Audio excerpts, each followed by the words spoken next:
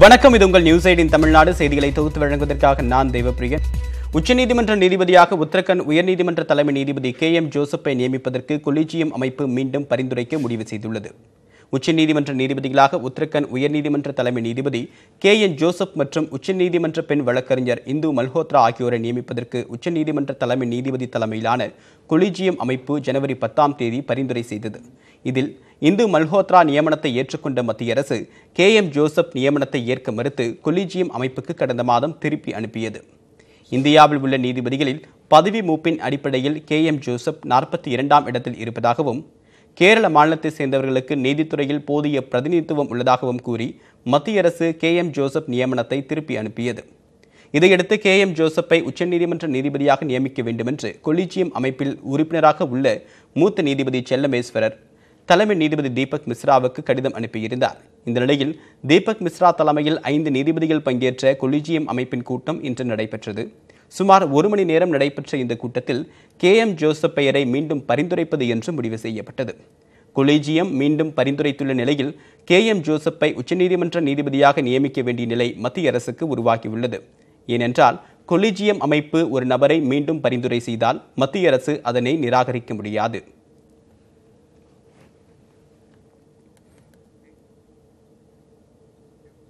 பொறியியல் கலந்தாய்வுக்கான விண்ணப்ப கட்டணத்தை வரைவோலை மூலமாக ஏற்றுக்கொள்வதாக அண்ணா பல்கலைக்கழகம் மீண்டும் அறிவித்துள்ளது. பொறியியல் படிப்பிற்கான மாணவர் சேர்க்கைக்கு ஆன்லைன் மூலமாக மட்டுமே விண்ணப்பிக்க வேண்டும் என்று தமிழக அரசு பிறப்பித்த அரசாணையை எதிர்த்து தொடரப்பட்ட வழக்கு சென்னை உயர்நீதிமன்றத்தில் விசாரணையில் உள்ளது. விண்ணப்ப கட்டணத்தை ஆன்லைன் மூலமாக மட்டுமே செலுத்தும் முறை உள்ளதால் மாணவர்கள் அவதியடைவதாகவும் புகார் எழுந்தது. இதையடுத்து சென்னை உயர்நீதிமன்றத்தின் அறிவுறுத்தலின்படி வரைவோலை மூலமாக கட்டணம் பெறப்படும் என்று அறிவித்த அண்ணா பல்கலைக்கழகம் பிறகு அந்த அறிவிப்பை திரும்ப பெற்றது.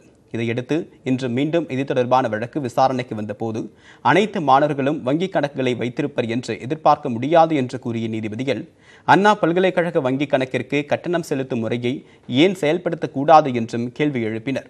இதையடுத்து வரைவோலை மூலமாக கட்டணம் ஏற்றுக்கொள்ளப்படும் என்று அண்ணா பல்கலைக்கழகம் மீண்டும் அறிவித்துள்ளது. அதற்கேற்றவாறு வரும் பதினெட்டாம் தேதிக்குள் ஆன்லைன் தொழில்நுட்பத்தில் மாற்றம் செய்யப்படும் என்றும் அண்ணா பல்கலைக்கழகம் அறிவித்துள்ளது. இதனை ஏற்றுக்கொண்ட நீதிபதிகள் மனுவாக தாக்கல் செய்யுமாறு உத்தரவிட்டனர்.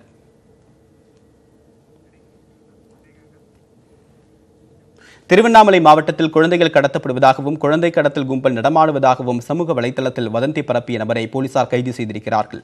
குழந்தைகள் கடத்தப்படுவதாக பரவும் வதந்தியால் திருவண்ணாமலை திருவள்ளூர் மாவட்டங்களில் குழந்தை கடத்தல்காரர்கள் என்று தவறுதலாக நினைத்து இரண்டு பேரை பொதுமக்கள் அடித்தே கொன்றனர். மேலும் வேலூர் கடலூர் உள்ளிட்ட மாவட்டங்களிலும் பொதுமக்களால் வட மாநிலத்தவர் உட்பட பலர் தாக்கப்பட்டிருக்கிறார்கள். இந்த நிலையில் குழந்தைகள் கடத்தப்படுவதாக வதந்தி பரப்புவோர் மீது கடும் நடவடிக்கை எடுக்கப்படும் என்றும் காவல்துறை எச்சரிக்கை விடுத்துள்ளது. இதனிடையே வதந்தி பரப்பியதாக திருவண்ணாமலை மாவட்டம் செய்யாறை அடுத்த புரசை கிராமத்தை சேர்ந்த வீரராகவன் என்பவரை போலீசார் கைது செய்தனர். கட்டுமான தொழில் செய்து வரும் வீரராகவன் குழந்தைகள் கடத்தப்படுவதாக விளையாட்டாக பேசி வீடியோ பதிவிட்டதாக போலீசாரிடம் தெரிவித்துள்ளார்.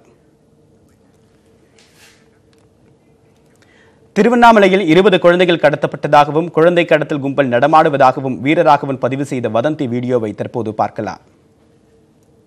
ஒரு குழந்தைய இந்திக்காரனுங்க ஐஸுக்கு வந்து ஐஸ் பெட்டிக்குள்ளே அந்த குழந்தைய போட்டு தூக்கி போயிட்டாங்க ஆளுங்க திட்டி போனாங்க ஓடிட்டான். அதை போல் கிட்டத்தட்ட இன்றைக்கி நைட்டு வரைக்கும் இருபது குழந்தைங்க மேலே திட்டு போயிருக்கு. அதனால் அவங்கவுங்க குழந்தைய அவங்கவுங்க உஷாராக பார்த்துங்க. வேலை வேலை வேலைன்னு வேலைக்கு போயிடாதீங்க. வேலை முக்கியமாக குழந்தைங்க பார்த்தோன்னா குழந்தை தான் முக்கியம். அதனால் வேலை தள்ளிக்கிட்டு வச்சுக்கலாம். தப்பு இல்லை. பணம் முக்கியம் இல்லை. குழந்தை தான் முக்கியம். அதனால் குழந்தைங்கள அவங்கவுங்க குழந்தைங்கள உஷாராக பார்த்தேன் இதை வந்து நீங்கள் யாரோ ஷேர் பண்ணி அவங்க குழந்தைகளை காப்பாற்ற முடியுமோ? காப்பாற்றுங்க திருவள்ளூரில் குழந்தை கடத்தல் சந்தேகத்தில் மனநிலை பாதிக்கப்பட்டவர் அடித்துக் கொல்லப்பட்ட வழக்கில் ஐந்து பேர் கைது செய்யப்பட்டனர். மனநலம் பாதிக்கப்பட்டவரை அடிக்கும்போது எடுக்கப்பட்ட வீடியோ வைரலான நிலையில் வீடியோ மூலமாக அடையாளம் காணப்பட்டவர்களை போலீசார் கைது செய்தனர். திருவள்ளூர் மாவட்டம் பழவேற்காட்டில் குழந்தை கடத்த வந்ததாக தவறாக சந்தேகித்து மனநலம் பாதிக்கப்பட்டவர் நேற்று முன்தினம் இரவு அடித்துக் கொல்லப்பட்டார். அந்த பகுதியில் பிச்சை எடுத்து சுற்றித் திரிந்த மனநலம் பாதிக்கப்பட்டவரை கடுமையாக தாக்கிய ஒரு சிலர் மேம்பாலத்தில் கட்டி தொங்கவிட்டனர் இந்த காட்சிகளை வீடியோவாக எடுத்து வாட்ஸ்அப் மூலமாகவும் பரவவிட்டனர். சமூக வலைதளங்களில் இந்த வீடியோ வைரலாக பரவி மக்கள் மத்தியில் அதிர்ச்சியை ஏற்படுத்தியுள்ளது. இந்த நிலையில் வீடியோவில் இடம்பெற்றவர்களை அடையாளம் கண்டு போலீசார் கைது செய்திருக்கிறார்கள். குழந்தை கடத்தல் சந்தேகத்தில் இதுவரை மூன்று பேர் அடித்துக் கொல்லப்பட்டுள்ளனர். இதனிடையே குழந்தை கடத்தல் நரபலி என்று வாட்ஸ்அப் மூலமாக வதந்தி பரப்புவோர் மீது கடும் நடவடிக்கை எடுக்கப்படும் என்று வேலூர் திருவண்ணாமலை திருவள்ளூர் மாவட்ட நிர்வாகங்கள் எச்சரிக்கை விடுத்திருக்கின்றன. சந்தேகப்படுவோரை பிடித்து போலீசில் ஒப்படைக்க வேண்டும் என்றும் அவர்கள் மீது தாக்குதல் நடத்தக்கூடாது என்றும் கிராமங்கள் தோறும் சென்று போலீசார் விழிப்புணர்வை ஏற்படுத்தி வருகின்றனர். குழந்தை கடத்தல் தொடர்பாக வதந்தி பரப்புவர்கள் மீது குண்டர் தடுப்பு சட்டம் பாயும் என்று சென்னை மாநகர காவல் ஆணையர் ஏ கே விஸ்வநாதன் எச்சரித்துள்ளார். வெப்பேரியில் உள்ள அலுவலகத்தில் செய்தியாளர்கள் சந்தித்தவர் பொதுமக்கள் சட்டத்தை கையில் எடுக்க வேண்டாம் என்றும் அறிவுரை வழங்கியுள்ளார். திருவண்ணாமலை மாவட்டத்தில் நடந்த மாதிரி இங்கே யாராவது வாட்ஸ்அப் மூலமாக தவறான வதந்திகளை பரப்பி யாராவது மேலே வன்முறை நடத்துகிற மாதிரி ஒரு சூழ்நிலையை உருவாக்குனா அவங்க மேலே கடுமையாக நடவடிக்கை எடுக்கப்படும். குண்டர் சட்டத்தில் கூட நடவடிக்கை எடுக்கப்படும்.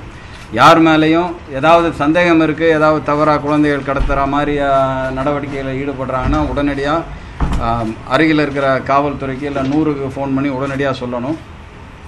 தயவு செஞ்சு சட்டத்தை யாரும் கையில் எடுத்துக்கிட்டு எந்த நடவடிக்கையிலும் ஈடுபடக்கூடாது என்று கேட்டுக்கொள்ளப்படுகிறது. ஆந்திர மாநிலம் பாப்பிக்கொண்டா மலைப்பகுதிக்கு பயணிகளை அழைத்து சென்ற படகு கோதாவரி ஆற்றில் தீப்பிடித்து எரிந்தது. ஆந்திரா மற்றும் தெலுங்கானாவை சேர்ந்த நூற்றி இருபது பயணிகள் பாப்பிக்கொண்டா மலைப்பகுதிக்கு சுற்றுலா சென்றனர். கோதாவரி நதிக்கரையில் இருந்து படகு மூலமாக அவர்கள் சுற்றுலா பயணத்தை தொடங்கிய நிலையில் புறப்பட்ட பதினைந்து நிமிடங்களிலேயே நடு ஆற்றில் படகு தீப்பிடித்து எரிந்தது. அச்சமடைந்த பயணிகள் தங்களது செல்போன் மூலமாக சுற்றுலாத்துறை அதிகாரிகளுக்கும் தீயணைப்புத் துறையினருக்கும் தகவல் தெரிவித்தனர். இதனையடுத்து கோதாவரி நதிக்கரைக்கு வந்த அவர்கள் மீட்பு படகுகள் மற்றும் மீட்பு குழுவினரை நதிக்குள் அனுப்பி வைத்தனர்.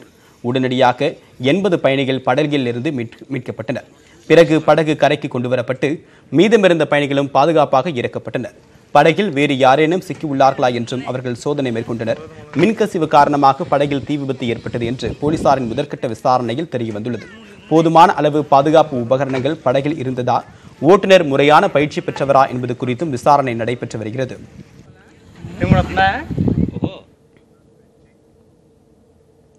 காவிரி பிரச்சனையில் கர்நாடக தேர்தலுக்காகவே கால அவகாசம் கேட்பதாக பாஜக தமிழக தலைவர் தமிழிசை சவுந்தரராஜன் கூறியிருக்கக்கூடிய நிலையில் உச்சநீதிமன்ற தலைமை நீதிபதி தீபக் மிஸ்ரா அரசியல்வாதிகளை விஞ்சிவிட்டதாக மதிமுக பொதுச் செயலாளர் வைகோ சாடியுள்ளார்.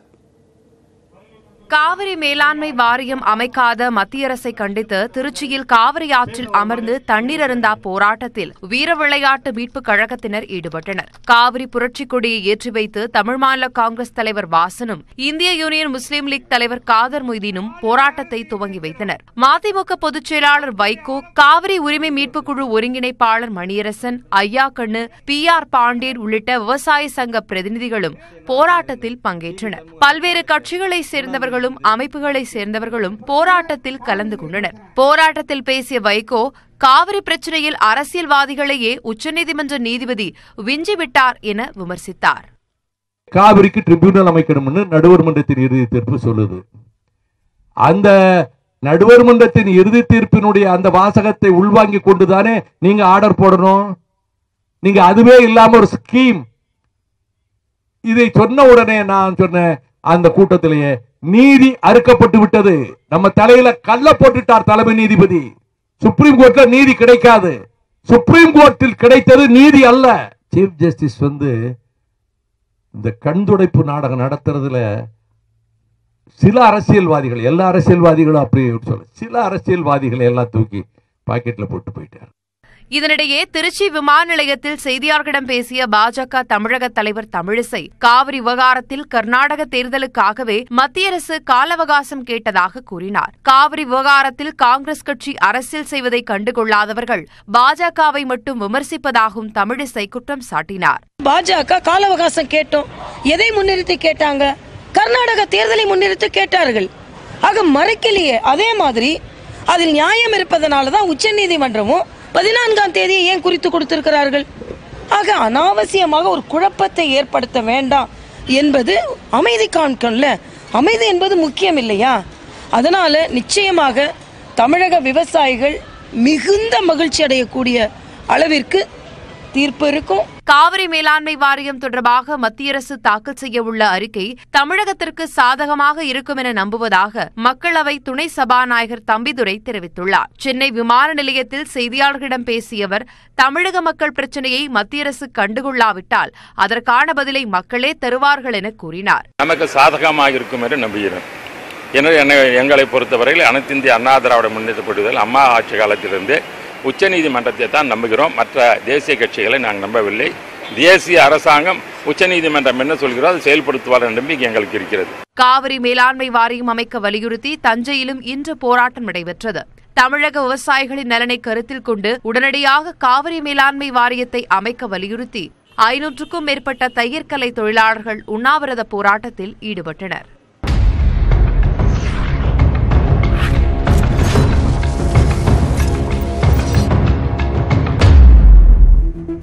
அடுத்ததாக எக்ஸ்பிரஸ் எயிட்டின் துரிதச் செய்திகளை பார்க்கலாம்.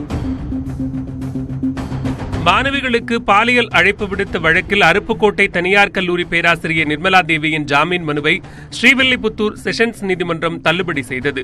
சிறையில் அடைக்கப்பட்டுள்ள நிர்மலா தேவி ஜாமீன் கோரி தாக்கல் செய்த மனு விசாரணைக்கு வந்தபோது சிபிசிஐடி மற்றும் சந்தானம் குழுவினர் நடத்திய விசாரணை முடிந்துவிட்டதாகவும் போதிய விவரங்கள் தெரிந்துவிட்டதால் ஜாமீன் வழங்க வேண்டும் என்றும் நிர்மலா தேவி தரப்பில் கோரப்பட்டது. இதற்கு எதிர்ப்பு தெரிவித்த அரசு தரப்பு வழக்கறிஞர் விசாரணை இன்னும் முடிவடையவில்லை என்றும் நிர்மலா தேவியை விடுவித்தால் சாட்சியங்களை அழிக்க வாய்ப்புள்ளதாகவும் வாதிட்டார். மருத்துவ படிப்புகளில் சேருவதற்கான நீட் தேர்வு எழுதுவதற்கு சிபிஎஸ்இ இருபத்தி ஐந்து வயதை உச்சவரம்பாக நிர்ணயித்தது செல்லும் என்று டெல்லி உயர்நீதிமன்றம் உத்தரவிட்டுள்ளது. பொது பிரிவினருக்கான வயது உச்சவரம்பு இருபத்தி ஐந்து என்றும் இடஒதுக்கீட்டு பிரிவினருக்கான வயது உச்சவரம்பு முப்பது என்றும் கடந்த ஜனவரி மாதம் சிபிஎஸ்இ சார்பில் அறிவிக்கப்பட்டது. பட்டப்படிப்பு முடித்து நீட் தேர்வு எழுதும் மாணவர்கள் தோல்வியடைந்தால் அதிகபட்சம் நான்கு முறை மட்டுமே மீண்டும் தேர்வு எழுத வாய்ப்புள்ளதால் வயது வரம்பை அதிகரிக்க கோரி கேரள மாணவிகள் டெல்லி உயர்நீதிமன்றத்தில் வழக்கு தொடர்ந்தனர். மனுவை விசாரித்த நீதிபதிகள் சஞ்சீவ் கண்ணா சந்திரசேகர் அமர்வு அனைத்து நுழைவுத் தேர்வுகளிலும் வயது உச்சவரம்பு பின்பற்றப்படுவதாகவும் எனவே இந்த நடைமுறையை மாற்ற முடியாது என்றும் தெரிவித்தனர். ஊதிய உயர்வு உள்ளிட்ட கோரிக்கைகளை வலியுறுத்தி வரும் முப்பது மற்றும் முப்பத்தி ஒன்று ஆகிய தேதிகளில் வங்கி ஊழியர்கள் நாடு முழுவதும் வேலை நிறுத்தத்தில் ஈடுபட உள்ளதாக அறிவித்துள்ளனர். வங்கி ஊழியர்களுக்கான தேசிய சம்மேளனம் வெளியிட்டுள்ள அறிவிக்கையில் ஊதிய விகித மாற்றத்தை விரைந்து மேற்கொள்ள வேண்டும் என்று வலியுறுத்தியுள்ளது. இந்த கோரிக்கையை வலியுறுத்தி வரும் முப்பது மற்றும் முப்பத்து ஒன்றாம் தேதிகளில் நாடு முழுவதும் வங்கி ஊழியர்கள் வேலைநிறுத்தத்தில் ஈடுபட உள்ளதாகவும் இதில் மற்ற வங்கிகளின் ஊழியர் சங்கங்களும் பங்கேற்கும் என்றும் தெரிவிக்கப்பட்டுள்ளது. இதனால் முப்பது மற்றும் முப்பத்து ஒன்றாம் தேதிகளில் வங்கிப் பணிகளில் கடும் பாதிப்பு ஏற்படும் சூழல் ஏற்பட்டுள்ளது. சென்னை சேலம் இடையே பசுமை வழிச்சாலை அமைக்கும் முடிவை கைவிட வலியுறுத்தி சேலத்தில் மாவட்ட ஆட்சியர் அலுவலகத்தை முற்றுகையிட்டு விவசாயிகள் போராட்டத்தில் ஈடுபட்டனர். தமிழ்நாடு விவசாயிகள் சங்கம் சார்பில் நடைபெற்ற இந்த போராட்டத்தில் நூற்றுக்கும் மேற்பட்ட விவசாயிகள் பங்கேற்றனர். இந்த திட்டத்தின் மூலமாக விளைநிலங்களை கையகப்படுத்த மத்திய அரசு திட்டமிட்டிருப்பதாகவும் இதனால் சேலம் மாவட்டத்தில் விவசாயமே கேள்விக்குறியாகும் என்றும் அவர்கள் அச்சம் தெரிவித்தனர். ஒன்று ஆறு ஒன்பது மற்றும் பதினொன்றாம் வகுப்புகளுக்கான புதிய பாடப்புத்தகங்கள் வரும் இருபத்தி மூன்றாம் தேதி இணையதளத்தில் வெளியிடப்படும் என்று தமிழக பள்ளிக்கல்வித்துறை அறிவித்துள்ளது. W W W dot TN SCERT dot ORG என்ற இணையதளத்தில் வெளியிடப்படும் என்றும் இதனை யார் வேண்டுமானாலும் பதிவிறக்கம் செய்து கொள்ளலாம் என்றும் அறிவிக்கப்பட்டுள்ளது. இதேபோல கல்வி உரிமை சட்டத்தின் கீழ் தனியார் பள்ளிகளில் இலவச கல்விக்கு சேர வரும் பதினெட்டாம் தேதி வரை விண்ணப்பிக்கலாம் என்றும் பள்ளிக்கல்வித்துறை அறிவித்துள்ளது. தமிழகத்தில் உள்ள தனியார் பள்ளிகளில் இலவச கல்விக்கான ஒதுக்கீட்டில் ஒரு லட்சம் இடங்கள் உள்ளன. கோவை மாவட்டம் கண்ணம்பாளையத்தில் குடிநீர் குழாய் பாதிக்கப்பட்டதில் முறைகேடு நடந்ததாக எழுந்த புகாரை தொடர்ந்து லஞ்ச ஒழிப்பு அதிகாரிகள் சோதனை நடத்தினர். அந்த பகுதியில் குட்கா ஆலை செயல்பட உதவியதாக திமுக பிரமுகர் தளபதி முருகேசனை காவல்துறையினர் கைது செய்துள்ளனர். இந்த நிலையில் அவர் கண்ணம்பாளையம் பேரூராட்சி தலைவராக இருந்தபோது குடிநீர் குழாய்கள் பதியாமல் பதிக்கப்பட்டதாக கணக்கு காண்பித்ததாக புகார் எழுந்துள்ளது. இதையடுத்து பேரூராட்சிக்கு உட்பட்ட பகுதியில் குழிகளை தோண்டி லஞ்ச ஒழிப்பு அதிகாரிகள் சோதனை நடத்தி வருகின்றனர் சென்னை அலுவலக அதிகாரிகளின் உத்தரவின்படி சோதனை நடத்துவதாக லஞ்ச ஒழிப்பு அதிகாரிகள் தெரிவித்தனர். புதுச்சேரியில் துணைநிலை ஆளுநர் கிரண்பேடி தன்னுடைய உரையை மொழிபெயர்க்குமாறு முதலமைச்சர் நாராயணசாமியை அழைக்க நாராயணசாமியும் மொழிபெயர்க்க அப்போது நடைபெற்ற சுவாரஸ்யங்கள் மேடையை கலகலப்பாக்கியது. கம்பன் ஐம்பத்தி மூன்றாம் ஆண்டு விழா புதுச்சேரியில் உள்ள கம்பன் அரங்கில் நடைபெற்றது. இந்த விழாவில் முதலமைச்சர் நாராயணசாமி துணைநிலை ஆளுநர் கிரண்பேடி சபாநாயகர் வைத்திலிங்கம் மற்றும் அமைச்சர்கள் கலந்து கொண்டனர். மேடையில் பேசிய கிரண்பேடி தன்னுடைய ஆங்கில உரையை மொழிபெயர்ப்பு செய்ய கல்வித்துறை அமைச்சர் கமலக்கண்ணனை அழைத்தார். அவர் தன்னால் முடிந்தவரை தமிழில் மொழிபெயர்ப்பு செய்வதாக கூறினார். அதனையடுத்து சற்றும் தாமதிக்காத கிரண்பேடி உரையை மொழிபெயர்க்குமாறு முதலமைச்சர் நாராயணசாமிக்கு வேண்டுகோள் வைத்தார். நாராயணசாமியிடம் மை கொடுக்கப்பட விழாவில் கூடியிருந்தவர்கள் ஆர்வத்துடன் கைத்தட்டத் தொடங்கினர்.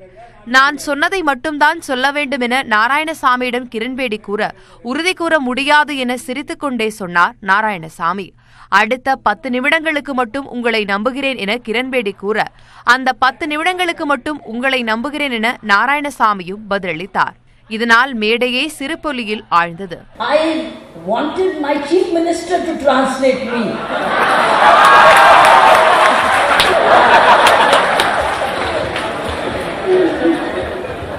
he may say something which suits him. There you go.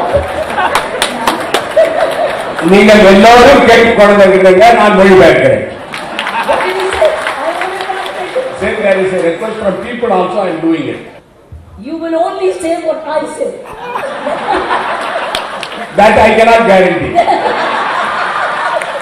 Then I need another translator.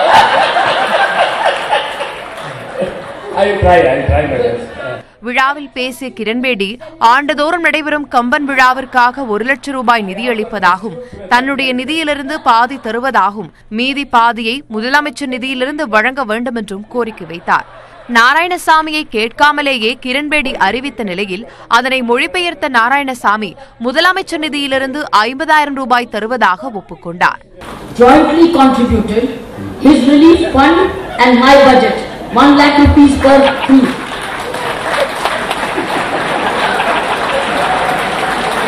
துணைநிலை ஆளுநரும் முதலமைச்சரும் ஆ, முதலமைச்சர் நிதியிலிருந்து அது முதலமைச்சர் நிதியிலிருந்து I'm stressing the point from Chief Minister Relief முதலமைச்சர் நிவாரண நிதியிலிருந்து துணைநிலை ஆளுநருக்காக ஒரு லட்சம் ரூபாய்.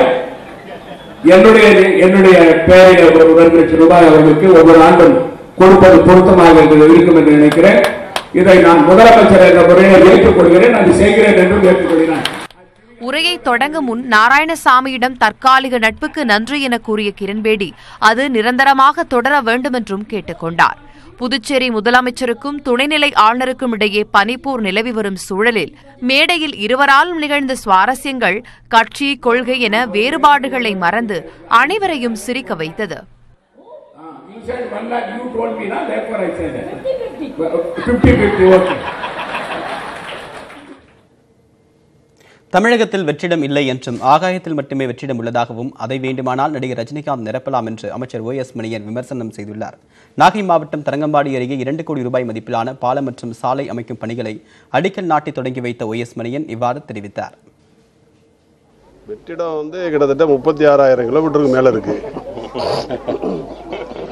அதனால தான் அங்கே போய் விமானத்தை ஓட்டுறாங்க. அந்த வெற்றிடத்தை யார் போய் நிரப்புறது? ரஜினிகாந்த் தான் நிரப்பணும். இங்கே எல்லாம் புவியீர்ப்பு விசை இருக்குது தம்பி. முப்பத்தி ஆறாயிரம் கிலோமீட்டருக்கு மேலே போனாக்கா புவியீர்ப்பு விசை கிடையாது. அங்கே தான் வெற்றிடம். தமிழகத்திலோ இந்தியாவிலோ உலகத்திலோ பூமியில் வெற்றிடம் இல்லை. மூன்று மாத கால தீவிர பரப்புரைகளுக்கு பிறகு நாளை கர்நாடக சட்டப்பேரவை தேர்தலுக்கான வாக்குப்பதிவு நடைபெறவுள்ளது. கர்நாடக சட்டப்பேரவை தேர்தலுக்கான வாக்குப்பதிவு சனிக்கிழமை நடைபெறவுள்ளது. இருநூற்றி இருபத்தி நான்கு தொகுதிகளை கொண்ட கர்நாடக சட்டப்பேரவைக்கு இருநூற்றி இருபத்தி மூன்று தொகுதிகளுக்கு நாளை தேர்தல் நடைபெறவுள்ளது. Jayanagar MLA B N Vijayakumar மற்றும் பாஜக வேட்பாளர் இறந்ததை அடுத்து அங்கு தேர்தல் நடைபெறவில்லை. இதில் முக்கிய கட்சிகளான பாஜக மற்றும் ஆளும் காங்கிரஸ் கட்சியிடையே கடும் போட்டி நிலவுகிறது. மும்முனை போட்டியில் மற்றொரு முக்கிய கட்சியான தேவேகவுடாவின் மதசார்பற்ற ஜனதாதள கட்சி கிங் மேக்கராக உருவெடுக்க வாய்ப்புள்ளதாக கருத்து கணிப்புகள் தெரிவிக்கின்றன. இந்த தேர்தலில் நான்கு கோடியே தொன்னூற்று ஆறு லட்சம் மக்கள் வாக்களிக்க உள்ளனர். இரண்டாயிரத்து அறுநூறு வேட்பாளர்கள் தேர்தலில் போட்டியிடுகின்றனர். மாநிலம் முழுவதும் ஐம்பத்தி ஐந்தாயிரத்து அறுநூறு வாக்குப்பதிவு மையங்கள் அமைக்கப்பட்டிருப்பதாக தேர்தல் ஆணையம் தெரிவித்துள்ளது. தேர்தலை நேர்மையான முறையில் நடத்துவதற்காக மூன்றரை லட்சத்திற்கும் மேற்பட்ட ஊழியர்கள் தேர்தல் பணியில் ஈடுபட்டிருக்கிறார்கள். வாக்குப்பதிவு மையங்களில் வரிசையில் இருக்கும் வாக்காளர்களின் எண்ணிக்கை குறித்து மொபைல் ஆப் மூலமாக தெரியப்படுத்தும் வசதி முதன்முறையாக அறிமுகப்படுத்தப்பட்டுள்ளது. அதிகளவு வாக்காளர்களை கொண்ட வாக்குப்பதிவு மையங்கள் இந்த மொபைல் ஆப்பில் இணைக்கப்பட்டிருக்கின்றன. மே பதினைந்தாம் தேதி வாக்கு எண்ணிக்கை நடைபெற்று அன்றைய தினமே தேர்தல் முடிவுகள் அறிவிக்கப்பட உள்ளது.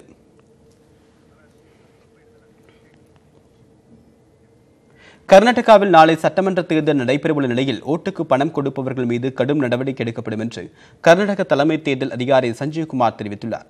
பெங்களூருவில் செய்தியாளர்களை சந்தித்தவர் இவ்வாறு தெரிவித்தார். We will expeditiously take action in all the cases. Wherever anyone tries to take law into their own hand or try to influence or tries to intimidate anyone. Our enforcement have been strong this year since very beginning and we have intensified it further.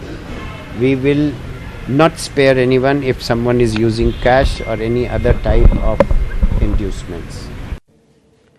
பிரதமர் நரேந்திர மோடி இரண்டு நாள் அரசுமுறை பயணமாக நேபாளம் சென்றுள்ளார். அங்கு நடைபெற்ற நிகழ்ச்சியில் ஜனக்பூர் அயோத்தி இடையிலான பேருந்து சேவையை பிரதமர் தொடங்கி வைத்தார்.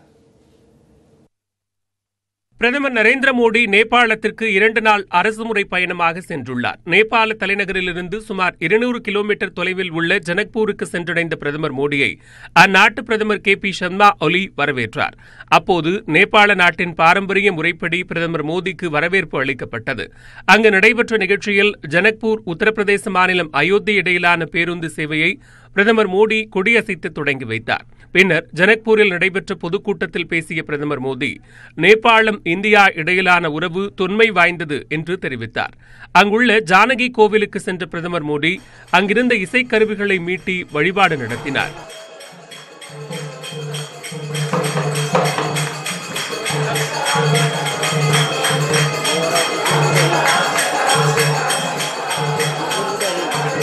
இந்த பயணத்தின் போது பல்வேறு முக்கிய விவகாரங்கள் குறித்து ஆலோசனை நடைபெற உள்ளதாக அதிகாரிகள் தெரிவித்துள்ளனர். பிரதமராக நரேந்திர மோடி பதவியேற்ற பிறகு நேபாளத்திற்கு அவர் மேற்கொள்ளும் மூன்றாவது பயணம் இது என்பது குறிப்பிடத்தக்கது. மேலும் அண்மைச் செய்திகளுக்கு தொடர்ந்து இணைந்திருங்கள். இது உங்கள் நியூஸ் எயிட்டின் தமிழ்நாடு.